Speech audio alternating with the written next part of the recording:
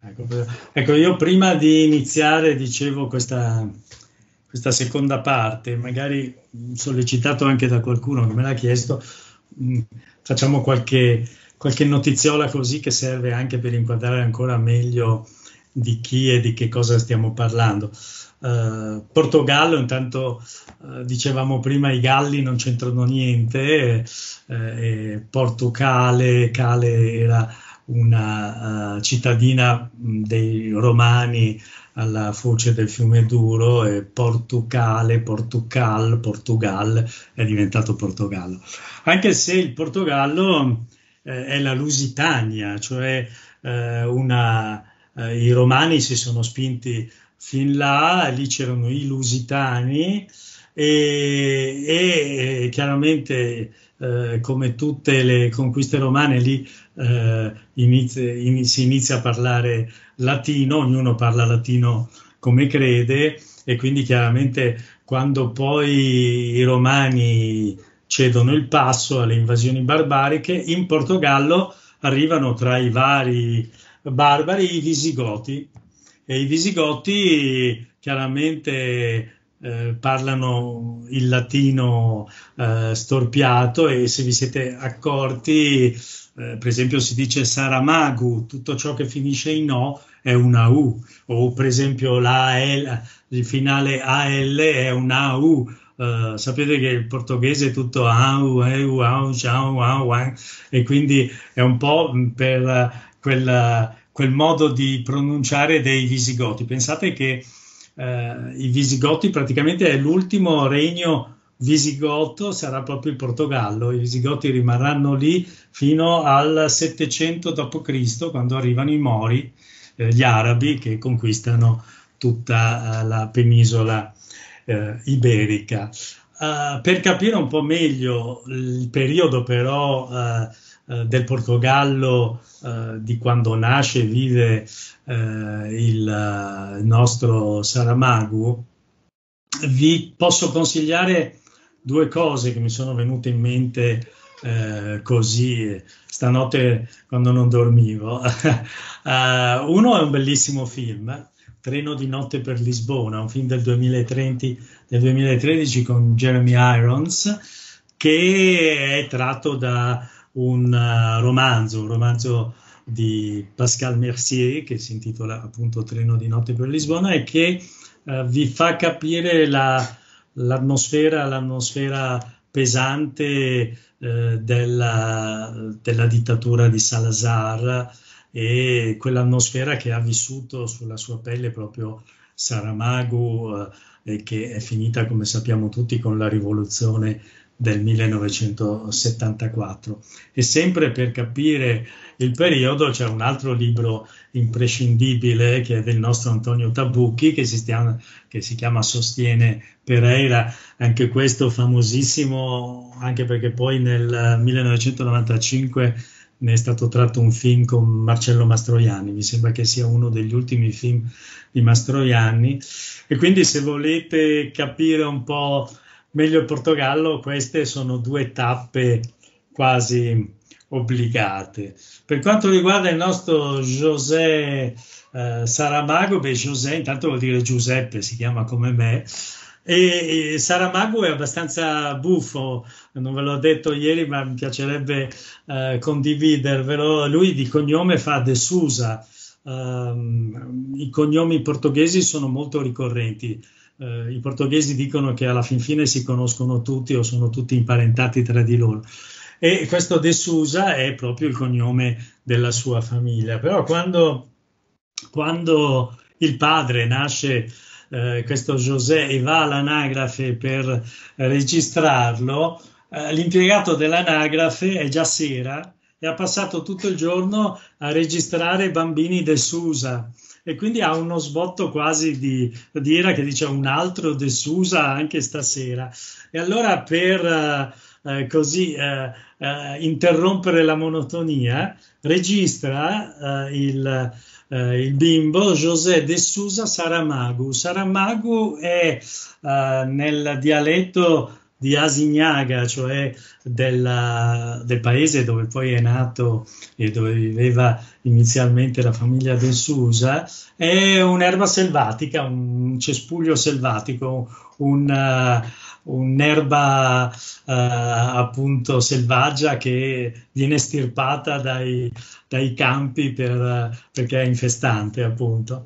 E, e quindi gli mette questa eh, questa, questo nome Saramago quasi come, come dire è, è un, un altro, un'altra di queste erbacce che, eh, che è arrivata. No? E, mm, e, poi invece quel Saramago, sì, quel, quell'oscuro impiegato dell'anagrafe ha di fatto inventato un nuovo cognome, addirittura il cognome che il nostro José adatterà fin da subito eh, oscurando di fatto il De Sousa, quindi eh, non, si, non ci si ricorda più del suo vero cognome d'origine, ma questo secondo cognome che gli ha messo questo, eh, questo oscuro impiegato dell'anagrafe. Ecco, niente, questa era una piccola uh, particolarità, ma dobbiamo ritornare al nostro. Ieri abbiamo visto i suoi inizi e, e, e Saramago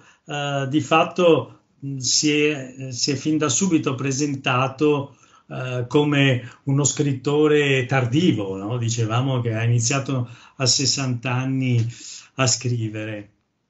Ho, ho un'opinione eh, sulla quale non sarà d'accordo la maggior parte degli scrittori, e cioè, e, e lo dico veramente perché io lo credo, scrivere è un dannato lavoro. Scrivere è un lavoro e come ogni altro lavoro deve essere fatto bene. Bisogna farlo bene. Tutto quello che è sublimato a proposito della missione dello scrivere, della scrittura in se stessa, mi sembra inutile, che non ne valga la pena. Noi scrittori facciamo un lavoro, alcuni meglio di altri, e questa è la nostra unica missione non rendiamo la scrittura una cosa sacra, perché se rendiamo sacra la scrittura, dovremmo anche considerare sacro un paio di scarpe che ha fatto il calzolaio, perché anche quello è un dannato lavoro.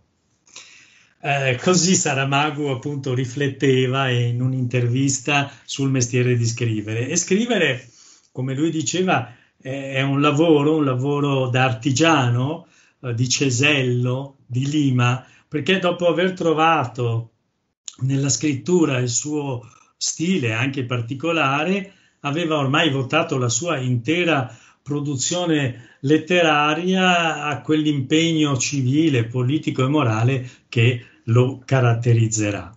Ed è proprio di questo impegno eh, che si costituisce la sua produzione teatrale molto limitata, limitata a poche opere, di cui la più famosa è proprio del 1987, si intitola La seconda vita di Francesco d'Assisi, dove mh, lui immagina che il santo torni tra i vivi, ma nel mondo contemporaneo, e si trova alle prese con eh, grosse incomprensioni, addirittura con lo stesso ordine che lui ha fondato.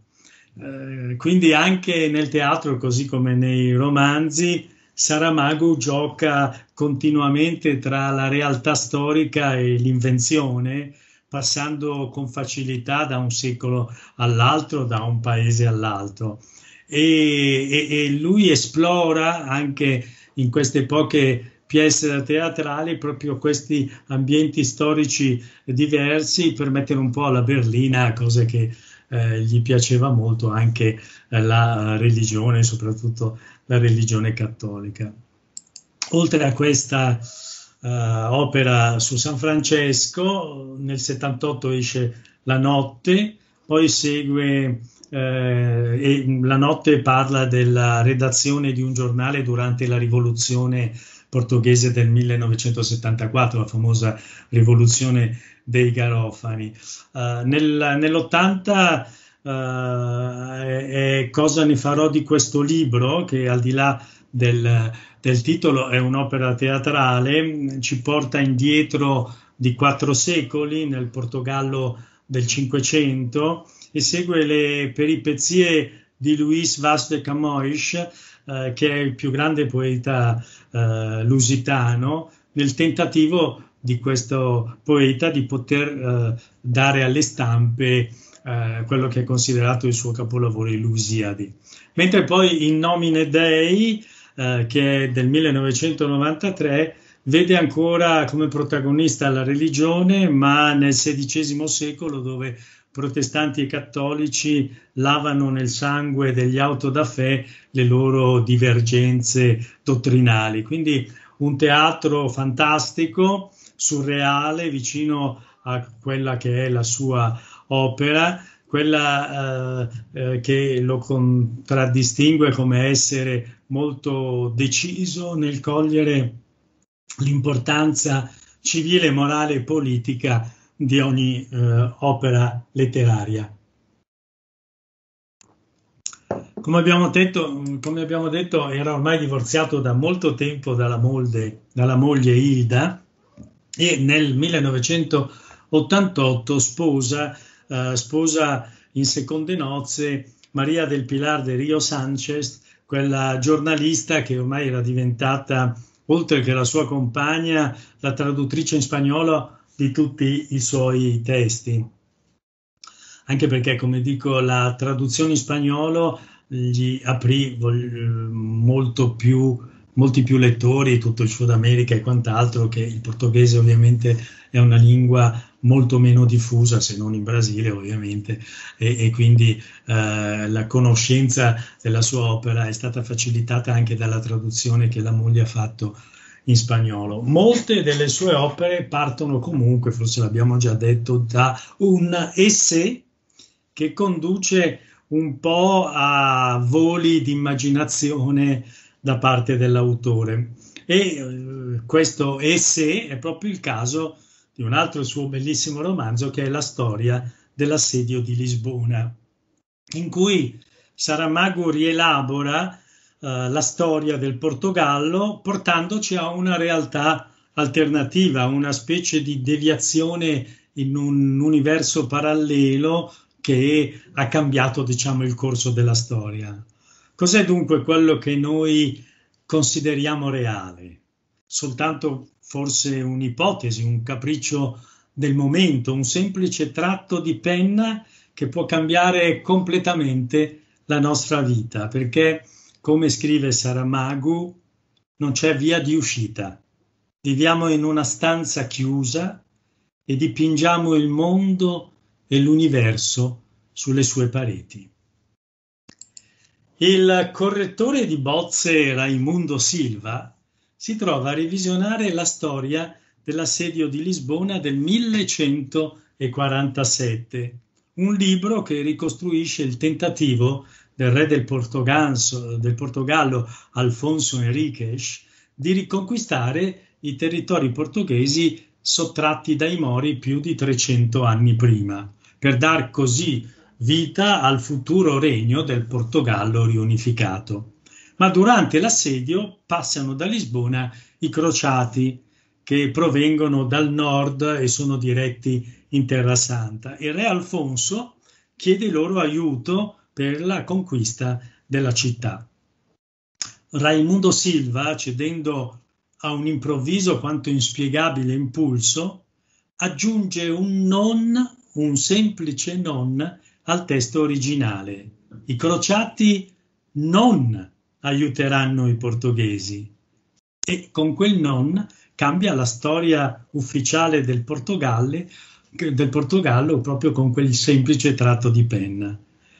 A questo punto la direzione lo convoca, Raimundo si trova di fronte non solo il direttore editoriale, ma anche una funzionaria che non ha mai visto prima, una certa dottoressa Maria Sara, che è colpita e quasi affascinata da questo gesto temerario. E anziché quindi licenziarlo lo incoraggia a scrivere la sua storia dell'assedio di Lisbona, una storia quindi alternativa, sfidandolo di fatto a tenere fede a quel non che lui ha aggiunto audacemente. E dopo un primo momento di smarrimento, il revisore accetta la sfida. E così eh, nasce la nuova storia dell'assedio di Lisbona che Raimundo, incoraggiato eh, da Maria Sara, che diventerà poi la sua amante, inizia a scrivere con capitoli dedicati a, a questa nuova avventura, nata proprio a partire semplicemente da un non. Non è ancora finita per accertare se sia il romanzo che impedisce all'uomo di dimenticare o se sia l'impossibilità di dimenticanza che lo porta a scrivere romanzi. Tuttavia, dopo aver riflettuto su queste discordanze, Raimundo Silva ha concluso che l'appurare una verità gli servirebbe a ben poco, giacché di questi e altri crociati, nobili della prima, villani dell'ultima, non si sentirà mai più parlare, non appena il re avrà fatto il suo discorso, poiché a questo sta portando il diniego che si trova registrato in quest'unico esemplare della storia dell'assedio di Lisbona, con tutte le sue conseguenze. Ma visto, visto che non si tratta di gente di scarso intelletto, tanto più si è aiutata da quella folla di chierici che accompagnano come interpreti e alfieri delle anime, per il rifiuto di aiutare i portoghesi nell'assedio e nella presa di Lisbona, dovrà esserci stato un motivo serio, oppure non si sarebbero presi la briga di sbarcare un centinaio di uomini, mentre più di 12.000 aspettano ancora sulle imbarcazioni l'ordine di scendere a terra con armi, bauli, zaini, compresi gli accompagnamenti femminili giunti con le navi, di cui un guerriero in nessun caso deve essere privato, pur imbarcandosi in battaglie spirituali, perché altrimenti come si riposerebbe o consolerebbe il corpo così bisognoso. Quale sia stato tale motivo, ecco dunque quello che è il momento di appurare, per amore della credibilità, della verosimiglianza del nuovo racconto, per il momento assai scarse. Andiamo un po' a vedere. Beh, una prima ipotesi potrebbe essere il clima, ma crolla immediatamente, non si regge, già che è risaputo che gli stranieri senza eccezione, adorano questo bel sole, questi dolci venticelli, questo cielo di un azzurro incomparabile. Basta osservare che siamo alla fine di giugno, ieri è stato il giorno di San Pietro e la città e il fiume era un unico splendore, con il dubbio comunque se sotto lo sguardo del Dio dei cristiani o di Allah, dei Mori, a meno che non stessero lì tutte e due a godersi lo spettacolo, e a fare scommesse. Una seconda ipotesi potrebbe essere per esempio un'aridità della terra, una siccità dei luoghi, una desolazione degli orizzonti, ma una cretinata del, del genere potrebbe concepirla soltanto la mente di chi non conoscesse Lisbona e il suo circondario, un verziere che ti rinfranca l'animo. Guardate tutti quegli orti che si stendono lungo le rive dello splendente estuario che penetra nella terra, in questa baiscia adagiata tra la collina dove si erge la città e l'altra di fronte, a ponente, dimostrazione perfetta che per gli ortaggi in genere non c'è mano migliore di quella dei mori.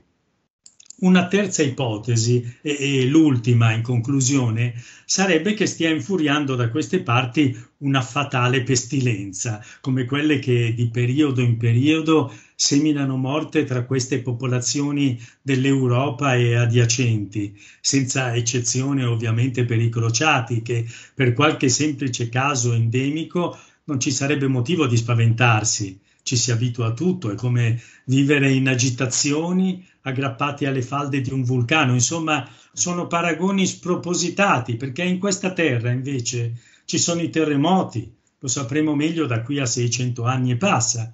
Ecco dunque tre ipotesi e non una perlomeno plausibile, per cui, per quanto ci costi ammetterlo, la ragione, la causa, l'origine, il motivo, il perché devono essere ricercati e magari trovati nel discorso del re, lì e soltanto lì.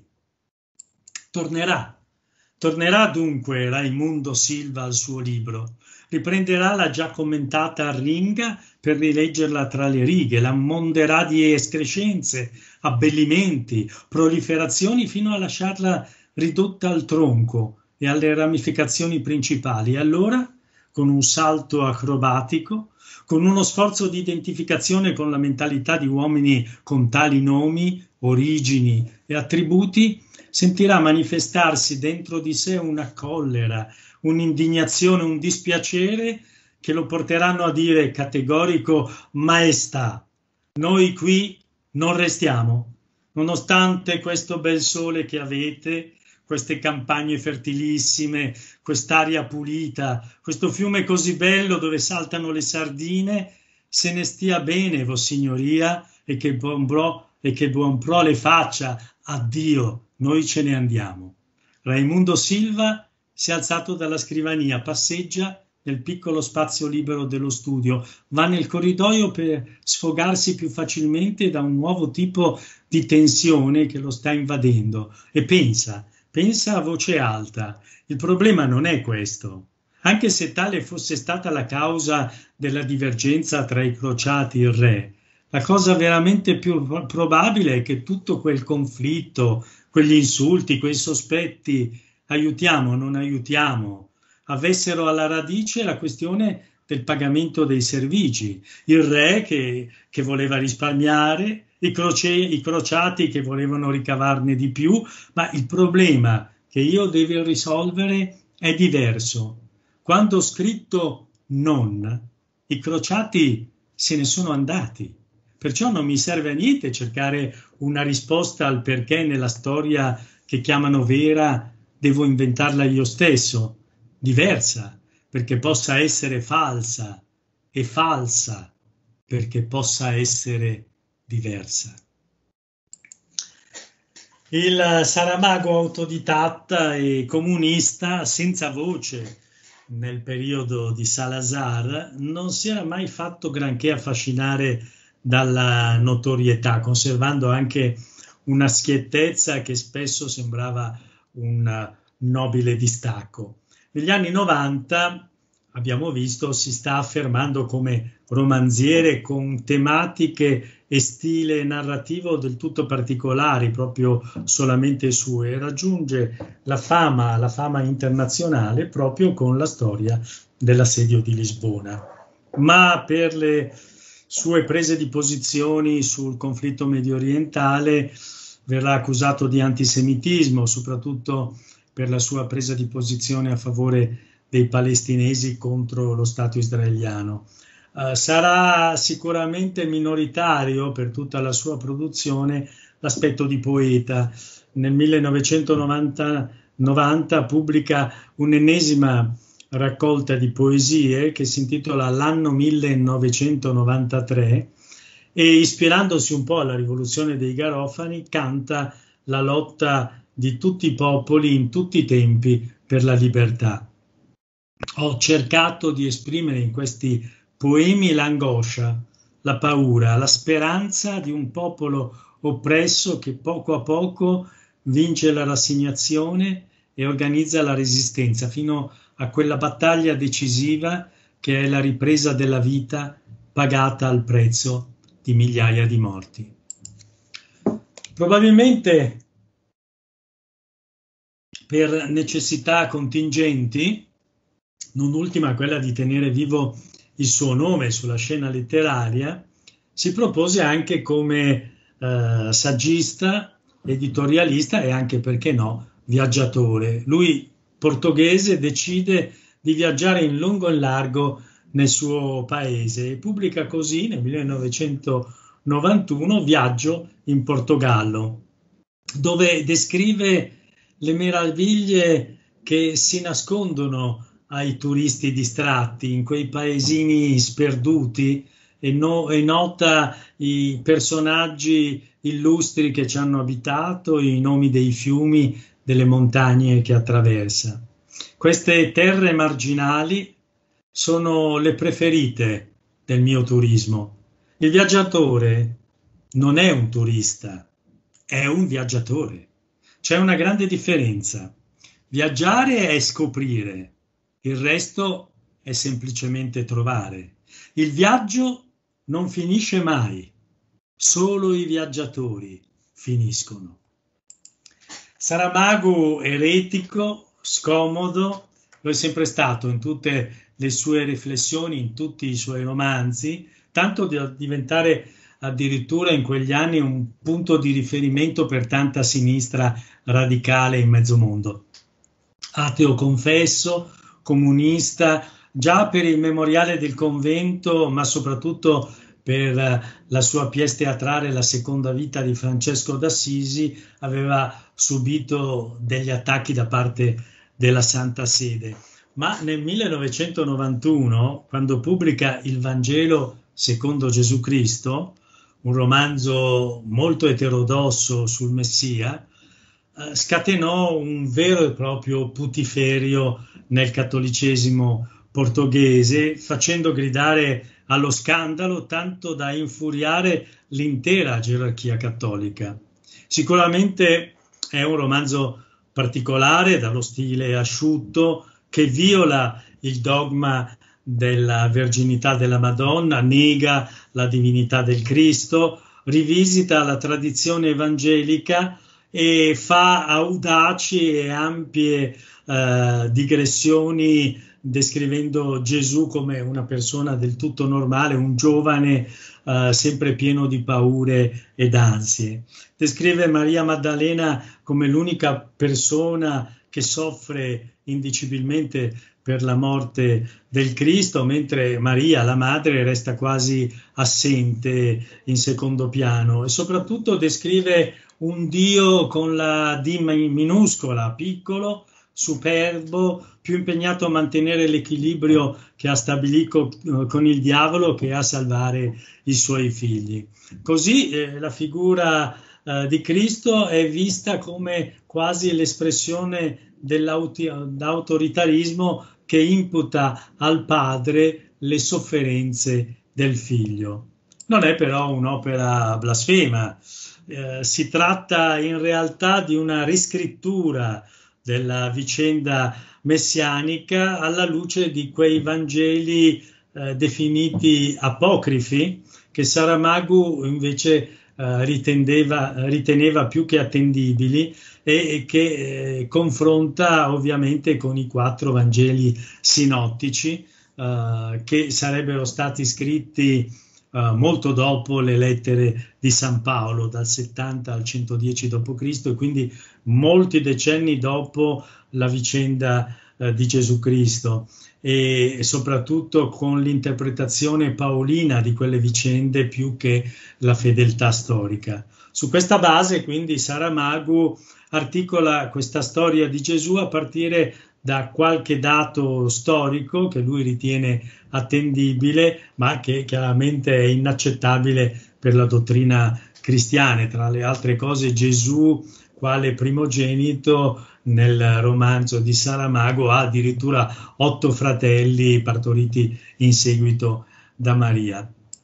La storia ovviamente ce l'hanno già raccontata tutti, prima Marco, Matteo, Luca e Giovanni e poi per tutti i duemila anni successivi uh, un po' chiunque. Il figlio di Dio si è fatto uomo nel grembo di una donna di nome Maria, sposata a un falegname che è il padre putativo e si chiama José, Giuseppe come Saramago, scende il figlio dell'uomo sulla terra per redimere gli uomini dal peccato originale, muore, muore in croce per loro. Quindi niente di nuovo, se non fosse per quelle variazioni sul tema che Saramago uh, vuole apportare. Si comincia intanto con un, un, concepimento molto meno divino di quello raccontato e dipinto nelle varie annunciazioni, frutto di un rapporto veramente carnale tra Maria e Giuseppe e non di quella chiacchierata con l'angelo, l'arcangelo Gabriele. Si continua poi con Giuseppe che, eh, salvato suo figlio dallo sterminio ordinato da Erode, verrà tormentato fino alla fine dei suoi giorni, morirà in croce a 33 anni eh, per mano dei Romani, creando un mezzo equivoco con la sorte del figlio. Uh, sarà appunto Giuseppe sempre tormentato da sogni orribili e angoscianti, quegli stessi sogni che morto lui farà il figlio Gesù, ma da una diversa prospettiva. Uh, il ragazzo inquieto lascerà addirittura la casa, cosa assolutamente inaudita per un primogenito allora. Ma tant'è, Gesù, Gesù cerca la sua strada, finisce per mettersi al servizio di un misterioso, misterioso, personaggio che tutti chiamano pastore, facendo con lui il mestiere eh, omonimo, cioè pascolare pecore, e per quattro anni continua così fino alla prima apparizione di Dio, informato di essere legato a doppio filo con la suprema divinità, eh, inizia a quel punto la sua vera vita, la vita di Gesù, le sue peregrinazioni, l'incontro con Maria Maddalena, eh, una prostituta con cui andrà a convivere e poi farà il lavoro eh, da pescatore o meglio da procacciatore di pesci, visti i miracoli della moltiplicazione eh, e tanti lo seguiranno, gli apostoli, per arrivare alla sua morte cruenta. La mattina del secondo giorno Gesù disse alla madre, non ho pace né riposo in questa casa, resta tu con i miei fratelli che io parto. Maria alzò le braccia al cielo, piangente e stupefatta. Ma che significa? Che significa? Un figlio primogenito non abbandona la propria madre vedova. Dove si è mai visto? Addio, mondo sempre peggiore. E perché? Perché se questa è la tua casa, questa è la tua famiglia, come vivremo noi se non ci sarai tu? Giacomo ha soltanto un anno meno di me, provvederà lui. Come dovrei fare io in mancanza di tuo marito? Mio marito era tuo padre. Non voglio parlarne, non voglio parlare di nient'altro. Dammi la tua benedizione per il viaggio, se vuoi, ma io me ne vado comunque. E dove vuoi andare, figlio mio? Non so, andrò a Gerusalemme, forse a Betlemme, per vedere il paese in cui sono nato. Ma là nessuno ti conosce? È buon per me. Dimmi, mamma, che cosa pensi che mi farebbero se sapessero chi sono? Taci, taci che i tuoi fratelli ti sentono. Un giorno anche loro conosceranno la verità. E adesso, su queste strade, con i romani che vanno a caccia dei guerrieri di Giuda, andrà incontro a tanti pericoli. I romani non sono peggiori dei soldati dell'altro Erode, non mi si scaglieranno certo addosso con la spada in pugno per uccidermi, né mi inchioderanno su una croce. Io, io non ho fatto niente, sono innocente. Anche tuo padre lo era, e vedi che cosa è successo.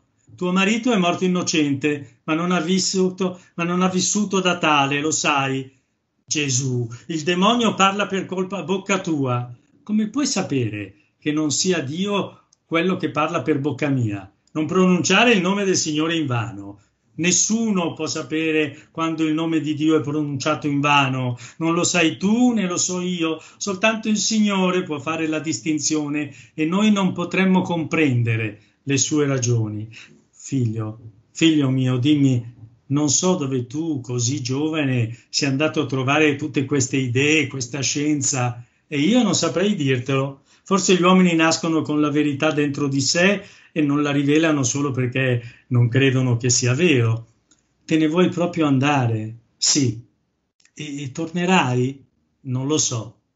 Se proprio vuoi, se, se questo ti tormenta, va pure a Betlemme, va a Gerusalemme, al Tempio, parla con i dottori, interrogali, ti illumineranno e poi, poi però torna da tua madre, dai tuoi fratelli che hanno bisogno di te. Ah, non ti prometto di tornare. E di cosa vivrai? Tuo padre non è, non è campato a sufficienza per insegnarti un mestiere. Lavorerò nei campi, farò il pastore, chiederò ai pescatori di portarmi con loro in mare non desiderare di essere pastore. Perché? Non lo so, è, è una specie di presentimento, ciò che dovrà essere sarà. E adesso, madre mia, no, non puoi andartene così. eh, devo prepararti del cibo per il viaggio, denaro ce n'è poco, lo sai, ma qualcosa si rimedierà. Prendi la bisaccia di tuo padre, per fortuna che ha lasciato almeno quello. Eh, prenderò il cibo, ma non la bisaccia. Ma è l'unica che abbiamo. Tuo padre non aveva mica la lebra né la rogna. Eh, non posso. Un giorno dovrai piangere tuo padre e non lo avrai. L'ho già pianto. Lo piangerai di più e allora non vorrai sapere le sue colpe. A queste parole della madre Gesù non rispose.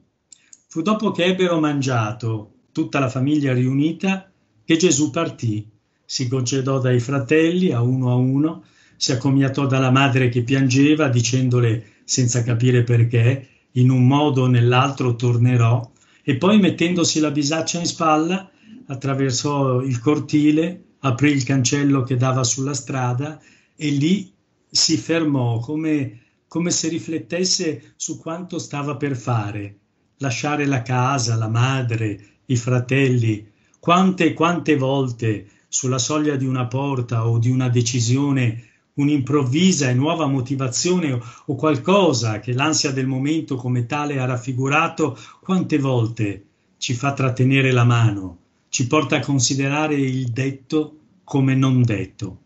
Lo pensò anche Maria, e una felice sorpresa le si stava già dipingendo sul viso, ma ebbe breve durata perché il figlio, prima di tornare indietro, posò la bisaccia per terra, dopo una lunga pausa durante la quale aveva dato l'impressione di dibattere tra sé e sé un problema di difficile soluzione. Gesù passò tra i suoi familiari senza guardarli e entrò in casa. Quando ne uscì di nuovo, alcuni istanti dopo, in una mano aveva i sandali del padre. Taciturno, con gli occhi bassi, come se il pudore o una malcelata vergogna, vergogna non gli consentissero di affrontare altri sguardi, infilò i sandali nella bisaccia e senza altre parole o gesti se ne andò. Maria, Maria corse al cancello la seguirono tutti i figli più anziani con l'aria di non dare grande importanza al caso, ma non vi furono gesti di saluto perché Gesù non si voltò neppure una volta. Una vicina che passando assistette alla scena domandò a Maria Dove va tuo figlio? E Maria rispose Ah, ha trovato lavoro a Gerusalemme, starà lì per qualche tempo, una sfacciata menzogna, come sappiamo ma questa faccenda del mentire e del dire la verità è una lunga storia. È meglio non azzardare giudizi morali assoluti perché se daremo abbastanza tempo al tempo, arriverà sempre il giorno in cui la verità diventerà menzogna e la menzogna si trasformerà in verità. Accanto quindi allo scrittore fantastico degli anni della sua maturità si impose l'uomo, l'uomo Saramago, quello che rendeva quotidianamente esplicito il suo accanimento contro ogni certezza, contro ogni dogma prestabilito o preconcetto. Le sue dichiarazioni sulla religione, come ho detto, suscitarono polemiche e controversie sia in Portogallo ma anche all'estero con la pubblicazione poi del Vangelo secondo Gesù Cristo, il livello di insofferenza nei suoi confronti toccò l'apice al punto che ricevette delle critiche estremamente violente dallo stesso primo ministro portoghese e il governo portoghese si rifiutò di presentare l'opera al premio europeo di letteratura per il fatto che lo riteneva offensivo per tutti i cattolici. A questo punto, quindi, sul finire del 1992, Saramago si, do- si trovò costretto a dover lasciare definitivamente la sua terra, il Portogallo, e a riparare in Spagna. Ma andandosene con eh, sua moglie, lo vediamo in quella foto, dichiarerà ho lasciato il paese per protestare contro il governo, non per rabbia contro il mio Portogallo e si trasferisce, si trasferisce definitivamente a Lanzarote, l'isola delle Canarie, dove in questa bella villa si autoesilia con la sua compagna e traduttrice Maria del Pilar de Rio Sanchez, in una casa uh, in cima a una scogliera nel comune di Tias, nella zona sud-est dell'isola. A gennaio la casa non era ancora finita e i miei cognati, Javier e Maria, con la partecipazione simbolica di Luis e Juan José, mi portarono da Arrecife un quaderno di carta riciclata. Pensavano che avrei dovuto scriverci le mie giornate a Lanzarote, un'idea che del resto già mi ronzava in testa da tempo. Non ho mai scritto niente su quei fogli, ma è stato proprio così e non per altra via che sono nati i quaderni di Lanzarote, venuti alla luce nell'arco di cinque anni. È così che Saramago spiegava questa ennesima sua opera letteraria, I quaderni di Lanzarote, un, non un romanzo, non un'opera teatrale, non una raccolta di poesie, eh, genere quest'ultimo che abbiamo detto eh, Saramago ha frequentato sporadicamente, ma una raccolta, una raccolta uh, di interventi scritti sotto forma di diario che iniziò a scrivere proprio in quel 1993 quando si trasferì definitivamente alle Canarie. Quei diari divennero una vera e propria abitudine e ne pubblicò addirittura cinque, oltre a un sesto pubblicato poi postumo. E i quaderni sono una raccolta di testi, di frasi, di pensieri, di riflessioni che costituiscono un vero e proprio universo sentimentale in cui eh, traspare tutta la sua vena più riservata e personale. Scrivere un diario è come guardarsi in uno specchio di fiducia, addestrato a trasformare in bellezza il semplice bell'aspetto o, nel peggiore dei casi, a rendere sopportabile la bruttezza massima. Nessuno scrive un diario per dire chi è. In altre parole, un diario è un romanzo con un personaggio solo. In altre parole e conclusione, la questione centrale suscitata sempre da questo tipo di scritti è, credo io, quella della sincerità. Tutto, tutto è autobiografia, che la vita di ciascuno di noi la raccontiamo in tutto ciò che facciamo e diciamo, nei gesti, nella maniera di come ci sediamo, come camminiamo, come guardiamo, come giriamo il capo o raccogliamo un oggetto da terra. Siamo qui e viviamo circondati da segnali e noi stessi siamo un sistema di segnali. Sembra quasi che Saramago voglia smentire un pensiero un po' comune, quello che scrivere un diario sia un, un esercizio quasi di narcisismo, perché eh, lui ha sempre qualcosa che va oltre la semplice descrizione di un momento o di un evento particolare. Ma sono anni importanti, sono anni importanti nella sua evoluzione perché precedono di pochissimo l'attribuzione del premio Nobel per la letteratura che arriverà da lì a poco nel 98. Il piacere profondo, ineffabile, che è camminare in questi campi deserti e spazzati dal vento, risala- risalire un pendio difficile e guardare dall'alto il paesaggio nero, scorticato, togliersi la camicia per sentire direttamente sulla pelle l'agitarsi furioso dell'aria e poi capire che non si può fare nient'altro. L'erba secca, rasente al suolo, freme. Le nuvole sfiorano per un attimo le cime dei monti e si allontanano verso il mare e lo spirito entra in una specie di trance, cresce, si dilata, manca poco che scoppi di felicità. Che altro resta allora se non piangere? 3 luglio 1994. Vista a distanza, L'umanità è una cosa molto bella, con una vasta e succulente storia, molta letteratura, molta arte, filosofie, religioni in abbondanza per tutti gli appetiti, scienza che è un piacere, sviluppo che non si sa dove si andrà a finire, insomma il creatore ha tutte le ragioni per essere soddisfatto, orgoglioso dell'immaginazione di cui si è dotato. Qualsiasi osservatore imparziale riconoscerebbe che nessun dio di un'altra galassia avrebbe fatto meglio di lui. Eh, se la guardiamo da vicino, però, l'umanità, eh, tu, lui, noi, voi, loro, io, è, eh, scusate, la parola, scusate la parola volgare, l'umanità è una merda. Sì, sto pensando ai morti del Ruanda, dell'Angola, della Bosnia, del Kurdistan, del Sudan, del Brasile, di ogni dove, montagne di morti, morti di fame, morti di miseria, morti fucilati, sgozzati, bruciati, squartati, morti, morti, morti, quanti milioni morti fucilati di persone, quanti milioni saranno finiti così in questo maledetto secolo che sta per finire? Dico maledetto e in questo è quello che sono, in cui sono nato e vivo.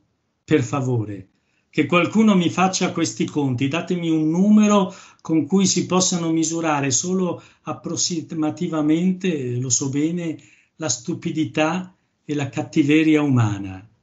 E visto che avete messo mano alla calcolatrice, non dimenticate di includere nel conteggio un uomo, un uomo di 27 anni, di professione calciatore, di nome Andrés Escobar, colombiano, assassinato a, a revolverate e a sangue freddo nella, no, nella nota città di Medellin per aver fatto un autogol durante una partita del campionato del mondo. Senza dubbio aveva ragione Alvaro de Campos. Non mi venite a parlare di conclusioni. L'unica conclusione è morire e senza dubbio non in questa maniera. Vedete quindi che i quaderni di Lanzarote meritano una lettura e sono di una agghiacciante, ahimè, eh, attualità. Il trasferimento a Lanzarote ha segnato un cambiamento nella sua narrativa. I suoi libri successivi, ambientati in paesi non specificati, sono molto meno radicati nella vita e nella storia portoghesi o nelle strade e nelle intemperie di Lisbona. L'elemento dominante della sua narrativa diventa la possibilità dell'impossibile. L'idea anche assurda è il punto di partenza, ma poi lo sviluppo è sempre razionale e logico. E uno dei migliori esempi è il romanzo, il romanzo più volte citato, considerato da molti il suo capolavoro, Cecità, eh, uscito per la prima volta in Portogallo nel 1995. E è il racconto appunto di un'epidemia, quindi molto attuale, eh, un'epidemia che però fa diventare ciechi tutti gli abitanti di una città. E con questo romanzo si apre la sua ultima tappa eh, di scrittore, quella più critica sulla società di massa, sulla globalizzazione, sul consumismo, sul funzionamento stesso del sistema democratico. Un romanzo scomodo ma drammaticamente vero, che svela i risvolti della natura umana alle prese con la diffusione di un, conda- di un, contagio a livello epidemico, niente ovviamente di più attuale. Una riflessione su quanto sia fragile la nostra civiltà e quanto facilmente possa crollare da un minuto all'altro. Saramago infatti diceva queste parole che oggi sembrano una vera e propria profezia. È la società così com'è, con la fame, la guerra, lo sfruttamento, noi siamo già all'inferno. Con la catastrofe, catastrofe collettiva della cecità totale, tutto emerge, positivo e negativo, è un ritratto di come siamo, di chi ha il potere e di chi non lo ha.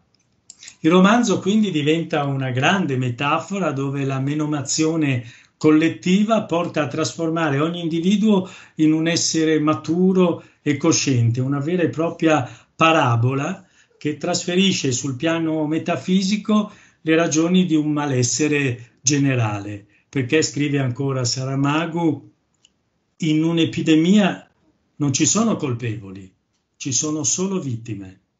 Quanto ho sofferto a scrivere questo libro e adesso che ne sono fuori, l'unica cosa che vi posso e mi posso e vi posso augurare è che soffriate davvero anche voi. È una mattina come tante altre, in un luogo e in un tempo non meglio precisato, ma che potrebbe tranquillamente essere il nostro. Un semaforo proprio uguale a quello dove aspettiamo ogni mattina, diventa verde, ma l'uomo alla guida della prima macchina non riparte. Non riparte perché è diventato cieco. E inesorabilmente una cecità bianca senza nessuna apparente spiegazione contagia tutti, dal soccorritore del primo cieco al medico che cerca di curarlo, a tutti i pazienti dello studio oculistico e via via ogni cieco infettato distribuisce il morbo a tutti quelli con i quali scambia uno sguardo, amici, familiari, conoscenti, sconosciuti che incrocia semplicemente per strada è una crisi globale. I ciechi vengono deportati in un vecchio manicu- manicomio in disuso, abbandonati a loro stessi per tutto quello che riguarda le loro necessità, ma controllati a vista dall'esercito, pronto a sparare a chiunque cerchi di scappare. E dentro, dentro a quel manicomio si scatena l'inferno, perché eh, da ciechi gli uomini diventano come delle bestie, il cibo, il sesso, la semplice sopraffazione diventano le regole di vita. Sarà terribile anche senza vedere perché si sente e si tocca comunque con mano il profondo orrore.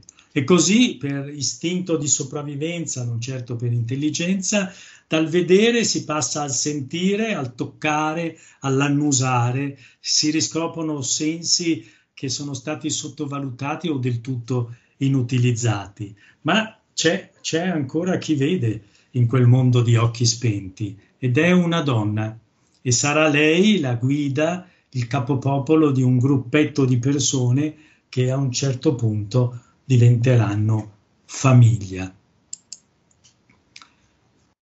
La cecità stava dilagando, non come una marea repentina che tutto inondasse e spingesse avanti, ma come un'infiltrazione insidiosa di mille e un rigagnolo inquietanti, che dopo aver inzuppato lentamente la terra, all'improvviso la sommergono completamente. Secondo me non siamo diventati ciechi. Secondo me lo siamo. Siamo ciechi che vedono, ciechi che pur vedendo non vedono. La cecità è anche questa, vivere in un mondo in cui ogni speranza si è esaurita. E le domande dei protagonisti del romanzo sono le domande di ognuno di noi davanti al contagio, anche quello di questi tempi. La tragedia collettiva sembra senza ritorno, è un dramma completo, buio, pesto, seppure sia un buio bianco. E anche la ricerca si rivelerà quasi subito una speranza mal risposta. Accecati i medici, i protagonisti sembrano sconfitti definitivamente smettono di nutrire qualsiasi altra aspettativa. Eppure in queste pagine c'è moltissima umanità, c'è l'impatto con l'ignoto, c'è il rapporto con l'autorità, c'è l'emergenza, c'è la risposta militare descritta come sicurezza nazionale. Uomini e donne obbligati a una quarantena che fa presto ad assumere i contorni di una vera e propria prigionia. Esseri umani di ogni età rinchiusi in quel manicomio riattato soltanto per separare i sani dai contagiati. E poi la soppressione di qualsiasi libertà di movimento diventa repressione, la cancellazione di ogni diritto fino al soffocamento quasi completo di ogni dignità umana. Strada facendo verso la casa della ragazza dagli occhiali scuri, attraversarono una grande piazza dove c'erano gruppi di ciechi intenti ad ascoltare i discorsi di altri ciechi. A prima vista né questi né quelli lo sembravano. Chi parlava volgeva infervorato la faccia verso chi ascoltava, chi ascoltava volgeva attento la faccia verso chi parlava. Si proclamavano la fine del mondo, la salvezza penitenziale, la visione del settimo giorno, l'avvento dell'angelo, la collisione cosmica, l'estinzione del sole, lo spirito tribale, l'umore della mandragora, l'unguento della tigre, la virtù del segno, la disciplina del vento, il profumo della luna, la rivendicazione della tenebre, il potere dello scongiuro, l'impronta del calcagno, la crocefissione della rosa, la purezza della linfa, il sangue del gatto nero, il sapore dell'ombra, la rivolta delle maree, la logica dell'antropofagia, la castrazione indolore, il tatuaggio divino, la cecità volontaria, il pensiero convesso, quello concavo, quello piano, quello verticale, quello concentrato, quello disperso, quello sfuggito, l'ablazione delle corde vocali, la morte della parola. Qui non c'è nessuno che parli di organizzazione, disse la moglie del medico al marito. Forse è in un'altra piazza, rispose lui. Continuarono a camminare. Poco più avanti la moglie del medico disse ci sono più morti del solito per strada perché la nostra resistenza si sta esaurendo, il tempo si conclude, l'acqua si esaurisce, le malattie aumentano, il cibo si trasforma in veleno. Lo hai detto tu stessa, ricordò il medico. Chissà se tra questi morti non ci siano i miei genitori, disse la ragazza dagli occhiali scuri, e io magari passo accanto a loro e non li vedo. È una vecchia abitudine dell'umanità passare accanto ai morti e non vederli, disse la moglie del medico. È difficile camminare. In certe strade, soprattutto quelle più in pendenza, l'impeto delle acque piovane trasformate in torrente ha scaraventato automobili contro automobili o contro palazzi, buttando giù porte, svuotando vetrine. Ci sono schegge di vetro spesso dappertutto. Schiacciato fra due macchine, imputridisce il corpo di un uomo. La moglie del medico distoglie lo sguardo, il cane delle lacrime si avvicina, ma la morte gli mette soggezione, fa due passi ancora, ma di colpo gli si è rizzato il pelo, un lacerante ululato gli è uscito dalla gola. Il guaio di questo cane è di essere stato tanto vicino agli esseri umani che finirà per soffrire quanto loro. Attraversarono una piazza dove c'erano gruppi di ciechi che si intrattenevano ad ascoltare i discorsi di altri ciechi.